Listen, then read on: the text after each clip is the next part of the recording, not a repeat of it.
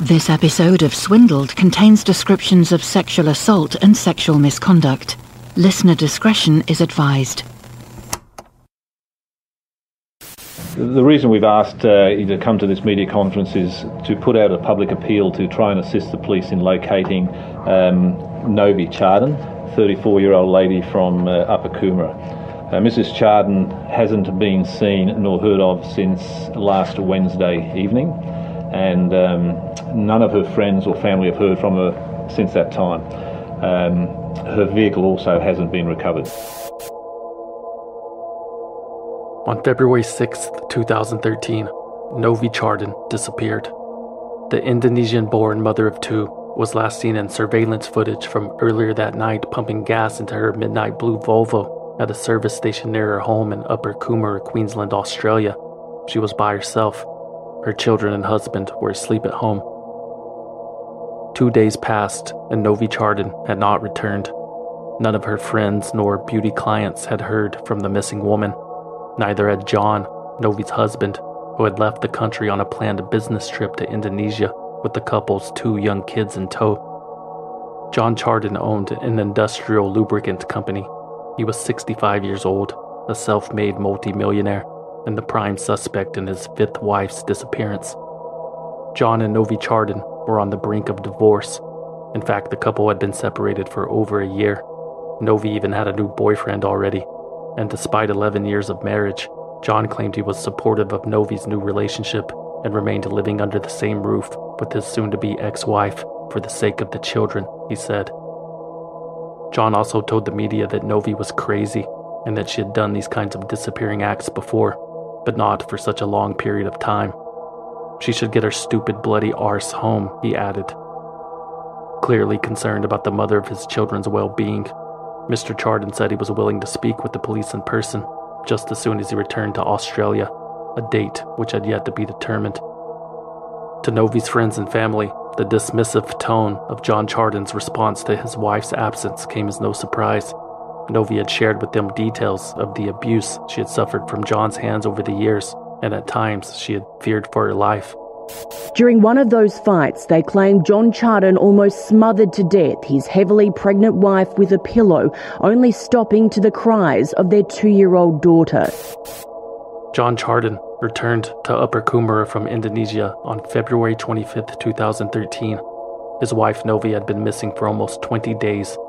Detectives had found Novy's abandoned car near a railway station a week earlier, but that remained the only significant breakthrough in the case so far. In hopes to glean more information from the last person that saw Novy alive, John Chardon was taken to the police station where he was interviewed for several hours. I said to her, what's that? She just looked at me. She turned around and looked at me and said, and I can't remember exactly whether she said, I've got to go away or I'm going away. What about the kids? And she said, don't go or take them with you, and just walked off. And you can't talk to her. That's all I know. I don't know a bloody thing. I don't know where she is. I don't know what's happened to her. All I know is I didn't do anything to her. The search continued. Authorities explored John's offices. They dug up people's backyards and they offered a $250,000 reward for information. But there was no sign of her. Novy's phone records confirmed that she had not talked to anyone, nor had she touched her bank accounts.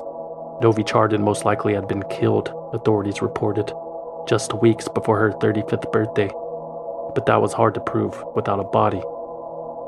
However, on June 17, 2016, more than three years after Novy Chardon's disappearance, after an extensive investigation that included 1,000 lines of inquiry, John Chardon was arrested. Well, good morning, Jody. More than three years after the Gold Coast mother went missing, her husband, John Chardon, has been arrested. The 68 year old was taken into the watch house where he has just been charged with his wife's murder. Chardon was smiling as he was driven through the pack of cameras waiting outside. Even without Novy's body or a smoking gun, the evidence against John Chardon revealed plenty about his character. During the three week trial that took place in August 2019, the jury heard how John rented a steam cleaner the day after Novy disappeared to wash the carpet in her bedroom. John's cleaning efforts had been interrupted by one of Novy's concerned friends who visited the house after Novy failed to show up for a coffee date. John reportedly boasted about his cleaning efforts and sexual prowess before propositioning Novy's friend for sex.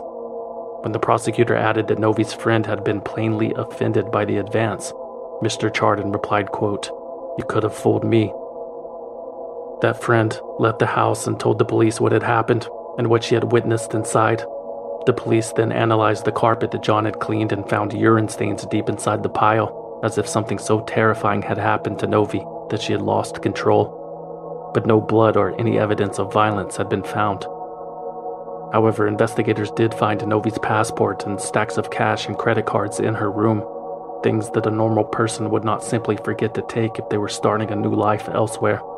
Detectives believed that John Chardon had made a mistake and simply overlooked the items during his clumsy cover up because some of Novy's other belongings, like an iPad and a cell phone, were missing. The court also heard that on the night of Novy's disappearance, John Chardon had driven to his office and spent only 80 seconds inside.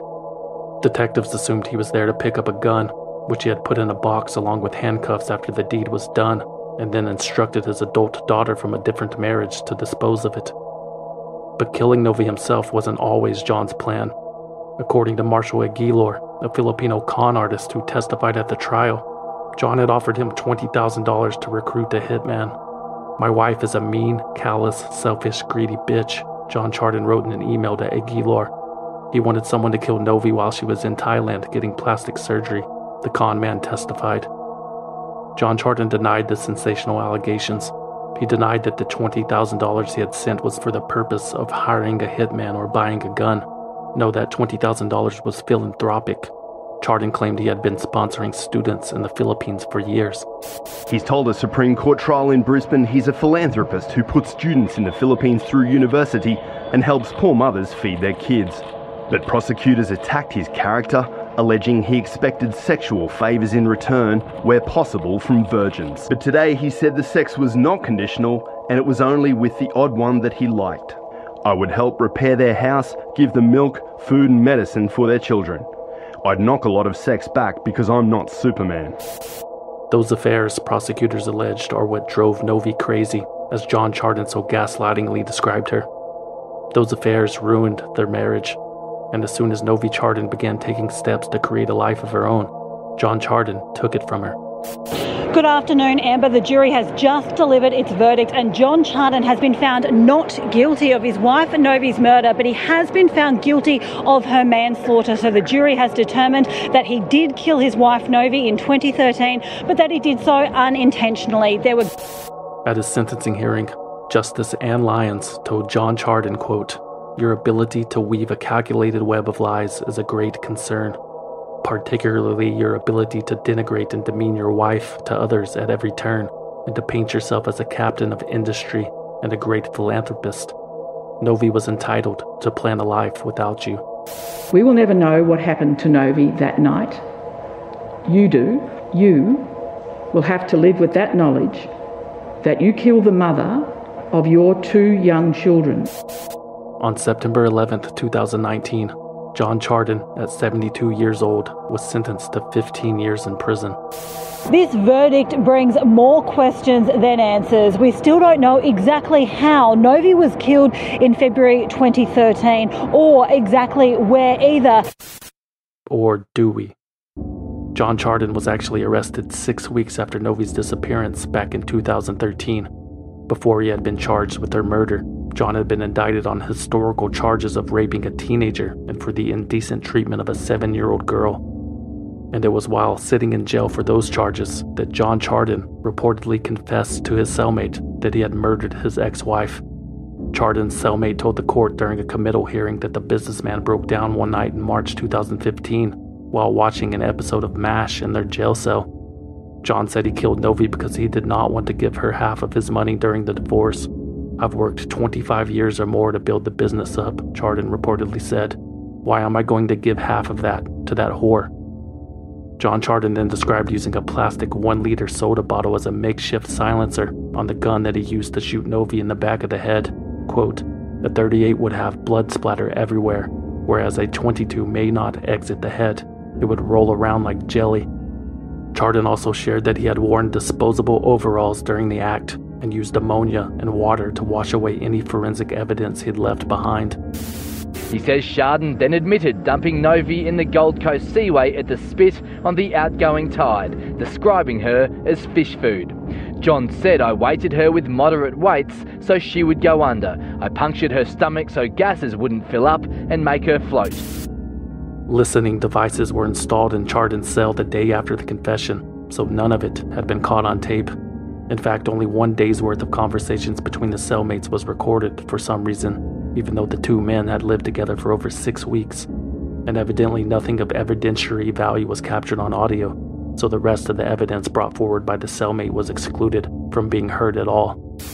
How do you feel about your evidence being excluded, Peter? Well, um, I think that had uh, my evidence uh, been included, I was the one person who could put the gun in his hand, as we saw. I knew of the urine on the carpet, I knew where the gun was found, and we would have had a murder conviction today instead of manslaughter. The evidence from that cellmate was excluded because that cellmate was a man named Peter Foster, a legendary liar and career con artist whose words were worthless. Though Peter claimed there was nothing in it for him, financially or otherwise, to testify against John Chardon, the court could not be satisfied that the confession had ever occurred. And after hearing about Peter Foster's history of weight loss scams and financial frauds that have featured luminaries such as Muhammad Ali and a prime minister's wife, it's hard to blame them. The self proclaimed international man of mischief exports schemes and headlines all across the globe on this episode of Swindled. They bribed government officials, clear violations of federal and state law, clearly unethical. pay to play millions of taxpayer dollars that were wasted, paid tens of millions of dollars, million dollars, billion dollars, dummied up its books and records, by falsifying its books and records, responsible for the collapse of the entire system. And in the thrall of some kind of swindle, is that right?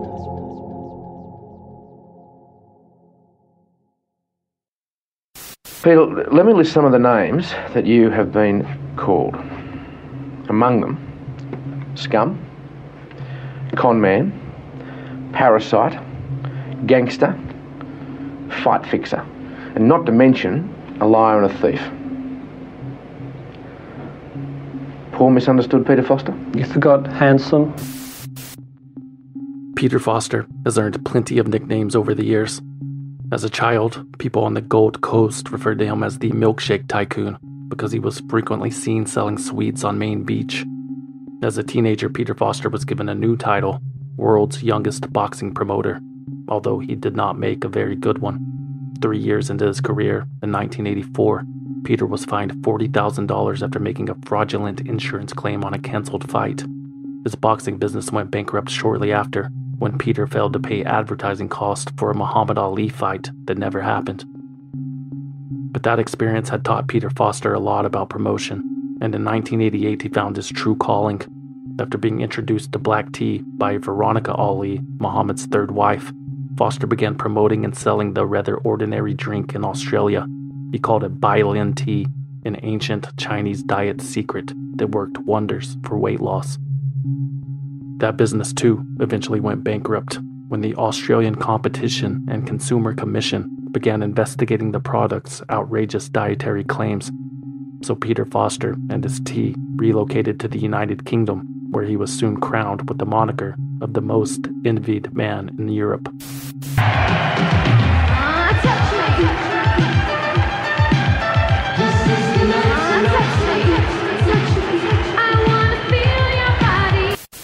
That is Samantha Fox, the British model and pop star, and Peter Foster's new girlfriend, whom he had hired to promote his weight loss tea. Peter claims he was able to woo Miss Fox by ignoring her at a party, although the millions of dollars in his bank account certainly did not hurt his chances. The couple became the talk of the British tabloids. Why would Samantha Fox, the glamorous page 3 model, hang out with Peter Foster, a square headed Aussie nobody that was clearly to borrow a boxing term, punching above his weight? The answer was obvious. Peter Foster was a smooth talking con artist. Sam and I had a great time. I mean, as we worked out the other day when we were sitting around, uh, knocked off the best part of a million dollars in a year. We had a great time doing it. Just spending a million dollars? Yeah. Samantha Fox would eventually distance herself from Peter Foster after the UK government, which is almost certainly comprised entirely of tea drinkers, discovered that the Australian man's Bai Lin tea was a scam. Samantha Fox reflected on that past life in a 2002 interview with The Guardian. Quote, I'm old enough now to know that I'd never be taken in again by the likes of Peter Foster. But then I was 22 and impressionable. My parents had split, and here was a man who was clever, manipulative, and domineering. I came close to marrying him because I was so vulnerable. Oh, don't worry, Samantha. Everybody has one of those. The United Kingdom fined Peter Foster's company £5,000 in 1988 for misleading consumers.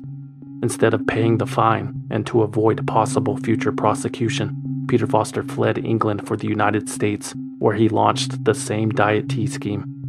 Foster took out advertisements in the New York Times and Washington Post that claimed drinking what was now known as Chow Li tea would lower cholesterol levels with no other changes in diet. That fraudulent claim landed Peter Foster in a Los Angeles prison for four months, but no lessons were learned. I'm a white collar criminal. I'm not a gangster, I'm not violent, I'm not a rapist, a murderer, a drug dealer. I sell diet products. Upon his release, Peter Foster continued to sell diet products. There was the anti aging jelly, the thigh reduction cream, the slimming pills, the stomach filling granules. Each item was overpromised and ineffective. Each item caught the attention of national departments of consumer affairs, who levied against him tens of thousands of dollars in fines. Every day crackled with excitement as I made millions, models, and mayhem, Foster wrote in the manuscript of his autobiography. Being a conman is one of the most prestigious and respectable professions you can pursue. All I am is just trying to make a living. I'm just trying to make a quid. Uh, don't want to hurt anybody along the way. Money back guarantee. By 1996, Peter Foster had returned to England. By 1996, Peter Foster had been arrested again, this time for conspiring to provide a product with a false description. Peter Foster was sentenced to two years behind bars. However, nine months into that two year sentence, Foster caught a flight to Australia using a fake passport while on day release from a Liverpool prison. What annoys me about this whole thing is, you know, there's 50 thigh creams on the market today. If we went into a major department store, and the women out there know this, there are dozens of thigh creams. I mean, you know, let's make it a level playing field.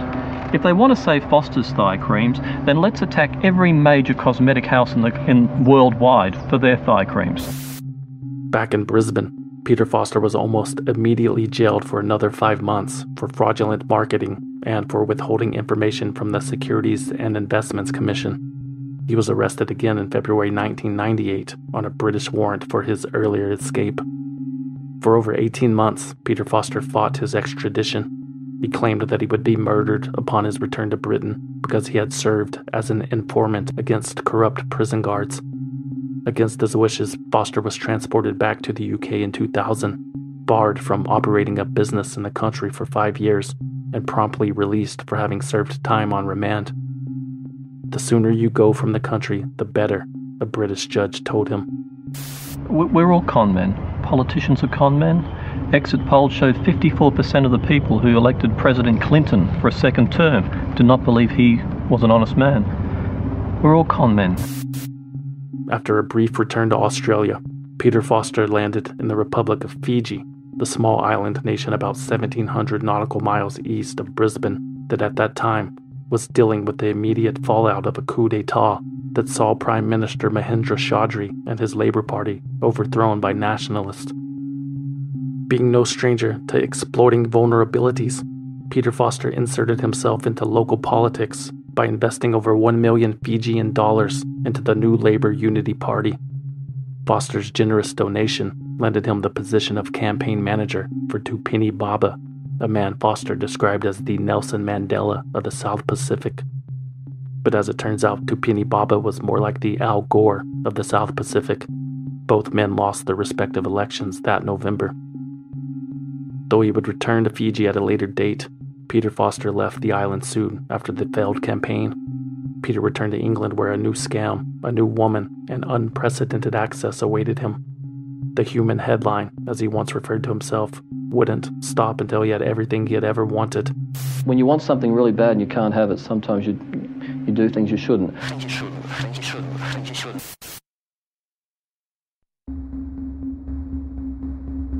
I want to make it clear that I've never hidden my past from anybody. It is a past I naturally regret, but as everybody who knows me is fully aware, I have paid for my dues and I've moved on, having learnt from those past mistakes. I would like to point out, however, that no matter what those sins were, I have never been accused or charged with stealing money. My offences were trading standards related. So maybe after all, I'm not such a fraudster. In 2001, fresh out of Fijian politics, Peter Foster returned to his roots. He began selling slimming pills in the UK called Renuelle, spelled like Rue Nouvelle, with one U, two L's, and three E's, as if it had been announced by a young suburban mother at a gender reveal party or something. Foster reportedly conned people into investing up to 150,000 pounds each into this new venture. Of course, those investors never received a return on their investments. Investors like Paul Walsh, a former professional footballer. On November the 27th, I received an email from Paul Walsh, a fellow shareholder in a company called Renuelle. He was demanding £75,000 or he threatened he would reveal that I had been party to the flat negotiations. Whose flat negotiations would that be, you ask? Why, Prime Minister Tony Blair and his wife Cherie, of course. Peter Foster's new girlfriend, Carole Caplin. Hello, I'm Carole Caplin. Was Cherie Blair's friend and lifestyle guru.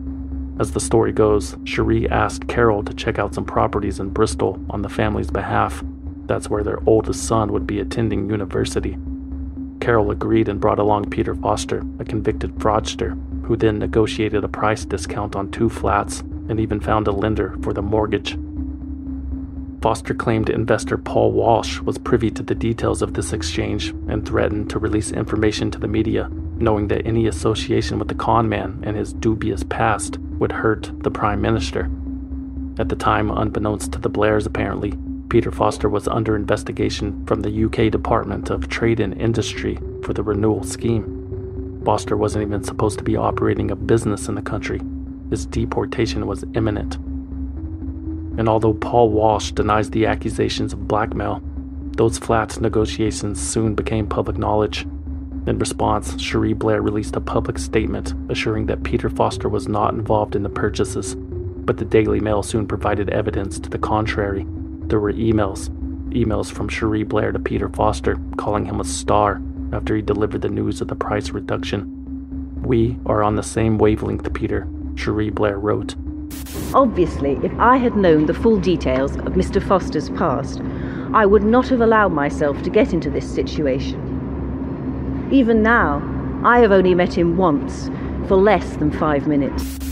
This affair, commonly referred to as Cherie Gate, led to Cherie Blair delivering a dramatic 10 minute public apology after it emerged that she had reassured her friend Carole Caplin that nothing untowards was happening in regards to the immigration proceedings against her boyfriend Peter Foster. Cherie Blair told the sympathetic audience that she was not aware of the full details of Mr. Foster's past and apologized for any embarrassment she may have caused.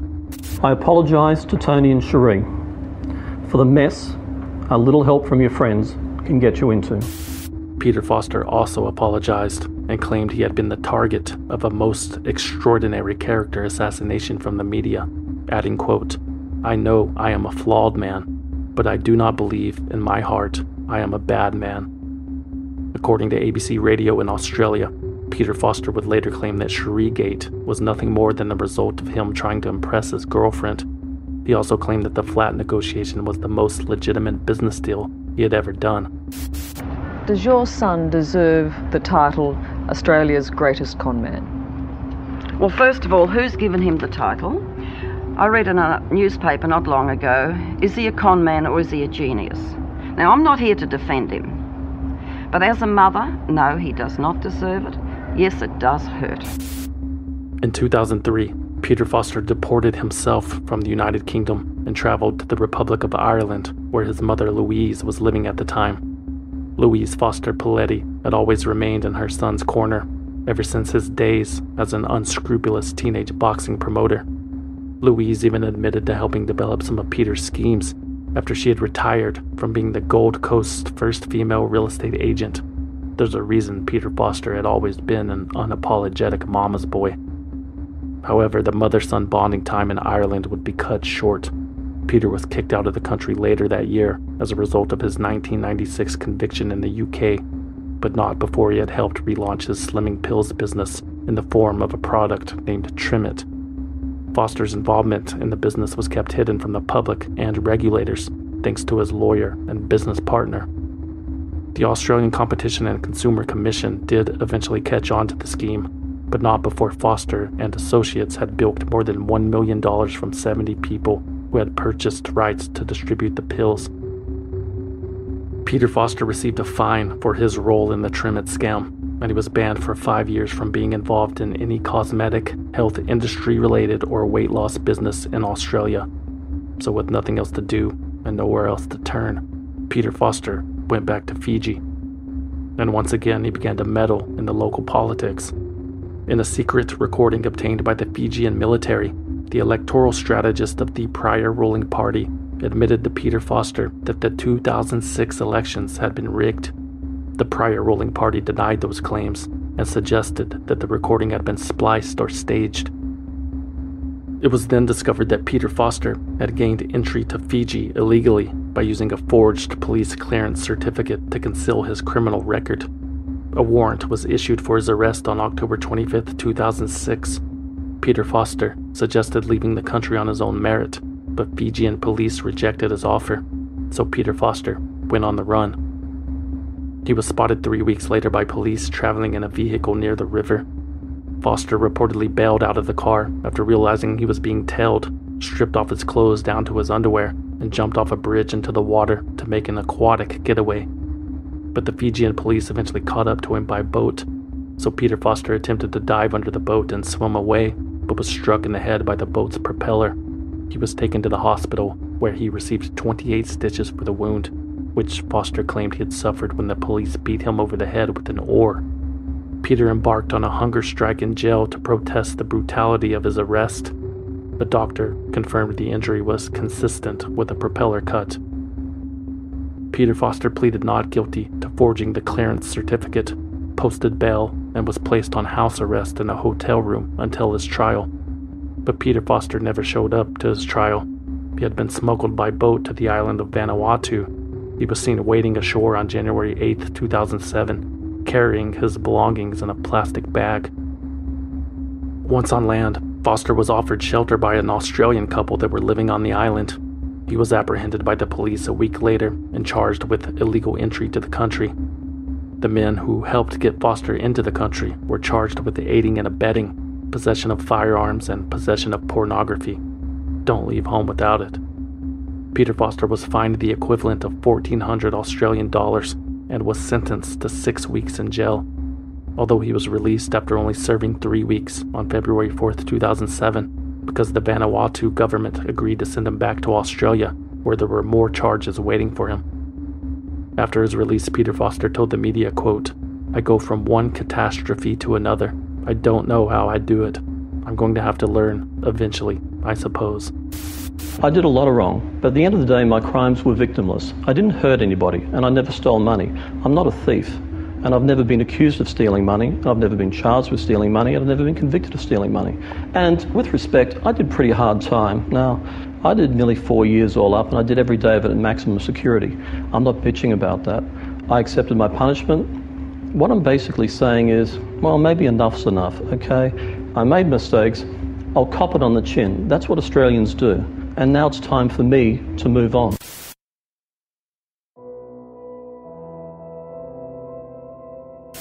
Forty-five-year-old Foster pleaded guilty to one count of money laundering and was promptly sentenced to four and a half years in jail. The Supreme Court in Brisbane heard he'd forged documents to obtain $300,000 US from the Bank of Federated States of Micronesia. Peter Foster was immediately arrested when he landed back in Australia. While in Fiji, Foster had forged documents to obtain a $300,000 loan from a bank in Micronesia. He claimed the money would fund the development of a tourist resort he planned to build near Suva City. Foster had submitted photographs of a different worksite to the bank and claimed it as his own.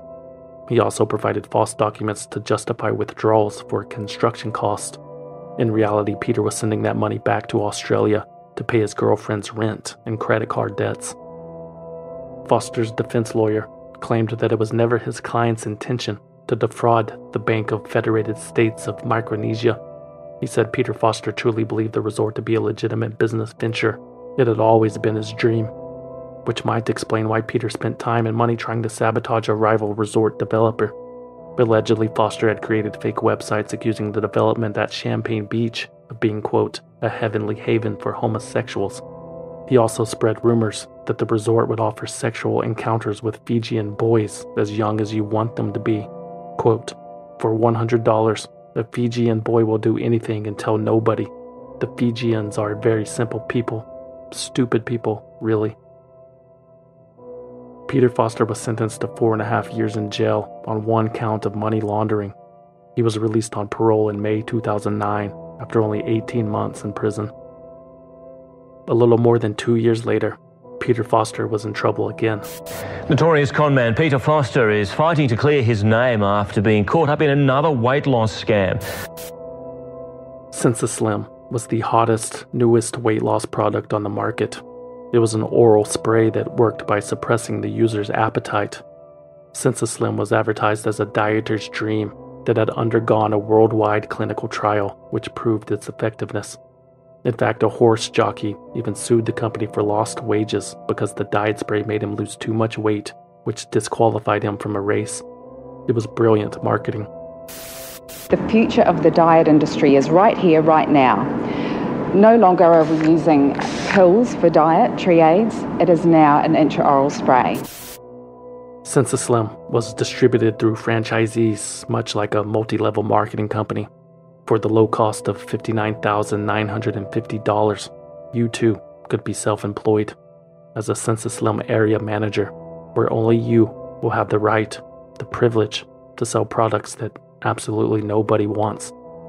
SensaSlim reportedly earned $6.4 million from the sale of these franchises, but the booming business came to an end when an adjunct lecturer in public health, Dr. Ken Harvey, lodged complaints against the company alleging that the worldwide clinical trial never happened. On November 18, 2011, Peter Foster was arrested at his mother's hospital bedside. Louise, now 81 years old, had suffered a recent stroke.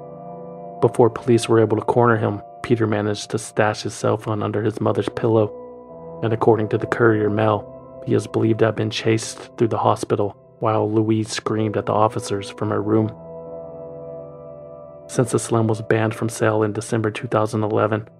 Peter Foster was charged for breaching the Trade Practices Act with misleading and deceptive conduct, not to mention the contempt of court regarding his continued involvement in the weight loss industry after being banned for five years back in 2005.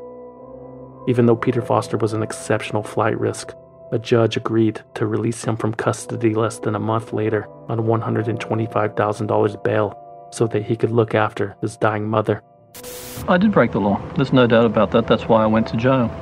Um, I could I could defend my actions uh, from the point of view of saying that's marketing. There are many lies told in marketing every day.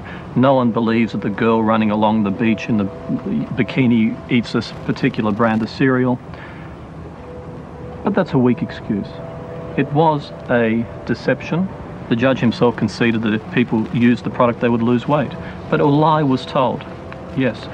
And I was punished for that. It was a mistake I made. I would never make it again, get again, get again, get again, get again, get again, get again. Peter Foster returned to court in September 2012 when it was discovered that his house was used as the setting of a SensaSlim promotional video. More proof that Peter Foster had ignored the 2005 ban. The ACCC also alleged that Foster had been using false identities to operate SensaSlim Sometimes he would even refer to himself in company documents as IMOM, an acronym for International Man of Mischief.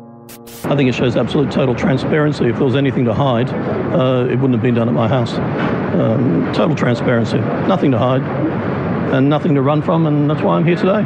Foster, who referred to himself as the international man of mischief, looked nervous in the dock, looking around when questions were being asked, and at one time knocked into his glass of water. In 2013, Peter Foster was found guilty of contempt of court and sentenced to three years in prison. However, Peter Foster did not appear for his sentencing hearing. He told the media to tell the judge to, quote, stick his sentence up his jacksie Foster also taunted Australian authorities by sending photographs of himself wearing a tropical shirt while holding a Fijian newspaper with a bottle of Fiji brand water sitting beside him. Obviously, Peter Foster was not in Fiji, as he wanted everyone to believe. He was in Byron Bay, south of Brisbane and Gold Coast, in New South Wales. He was found and filmed by Justin Armsden of Channel 9's A Current Affair program in 2014 after 18 months on the run. When Queensland police approached Foster's five bedroom mansion hideout, the international man of mischief, who now looked more like an aging, bloated hippie, took off running through his neighbor's yard, but was eventually tackled into some bushes. Peter wrestled with the cops until his pants fell down. He also attempted to grab one of their guns.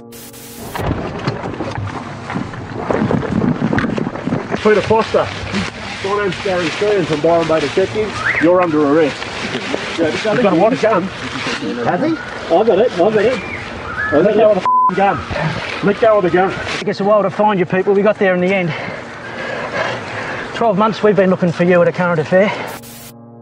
Peter Foster pleaded guilty to assaulting a police officer and for resisting arrest and was extradited to Queensland, where he was jailed for 12 months on the outstanding warrant for contempt of court.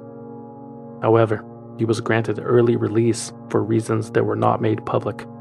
Many, including Foster's former lawyers, assume he had served as a prison informant, as he was wont to do. Peter Foster called the judge courageous and compassionate for letting him out six months early. He told the media that he would celebrate by going home to his mom, holding her hand, and apologizing for the past 12 months over a cup of tea, but only because it was, quote, a bit too early for a lap dance. Two months later, Australian police were investigating allegations that Peter Foster had tried to hire a hitman to kill a man named Ken Gamble, the private investigator that helped Channel 9 track him down in Byron Bay. Ken Gamble was back on Foster's case because, instead of, quote, living like a monk while on the run as his lawyer had claimed, Peter Foster was operating a new scam called the Sports Trading Club. The Sports Trading Club was basically an investment fund that used investor money to gamble on sports instead of trading stocks and bonds. Not only a terrible idea, but also an elaborate scam perpetrated by Peter Foster to line his pockets. To conceal Peter Foster's involvement, the sports trading club was technically owned by a company in Hong Kong that was registered under the name of Peter's niece. According to the Gold Coast Bulletin, by late 2014, the Queensland Office of Fair Trading had received almost 400 complaints about the company during its eight months of operation, including one from a Western Australian man who had lost more than $1.5 million.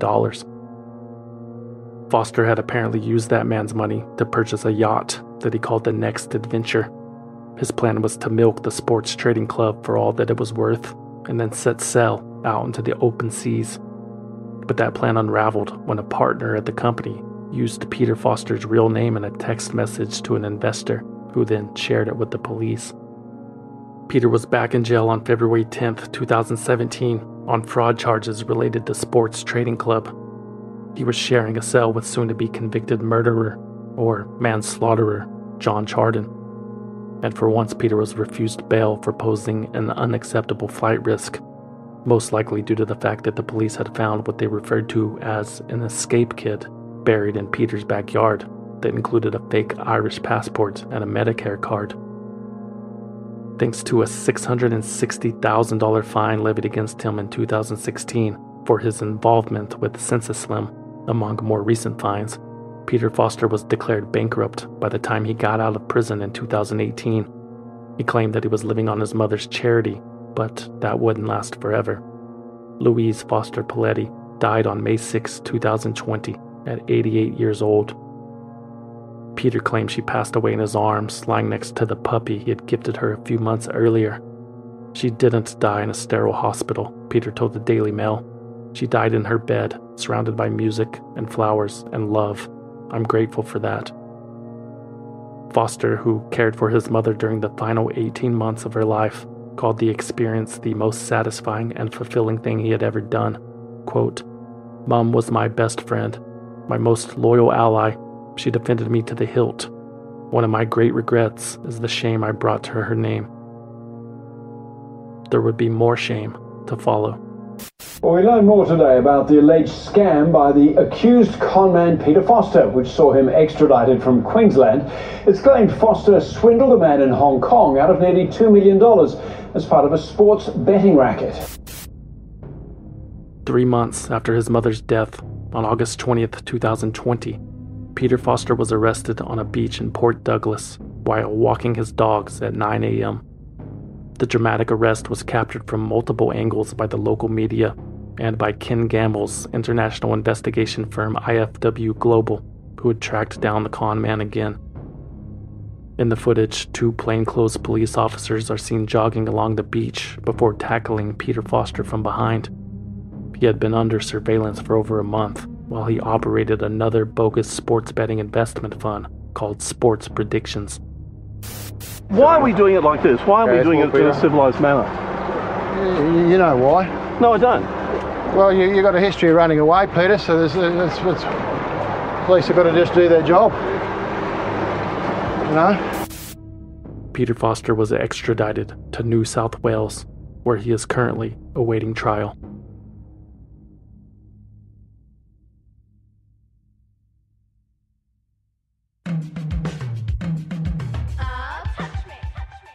Swindled is written, researched, produced, and hosted by me, a concerned citizen, with original music by Trevor Howard, aka Deformr, aka the International Man of Music.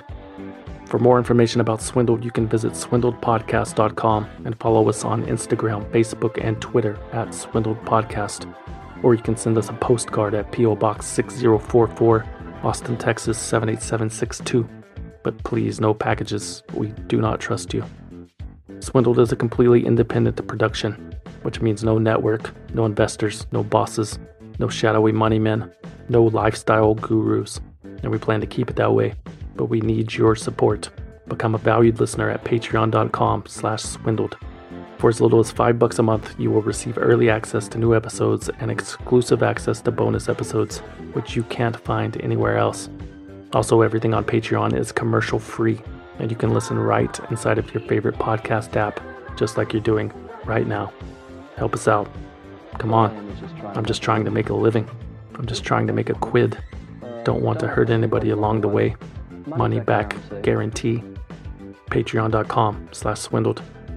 Or if you want to support the show and need something that will help you touch Samantha Fox, consider buying something you don't need at swindledpodcast.com slash shop. There are stickers, patches, hats, hoodies, posters, and more. No thigh creams, but check it out anyway. Swindledpodcast.com slash shop. And remember to use the coupon code CAPITALISM to receive 10% off your order. If you don't want anything in return for your support, you can always simply donate using the form on the homepage. That's it. Thanks for listening.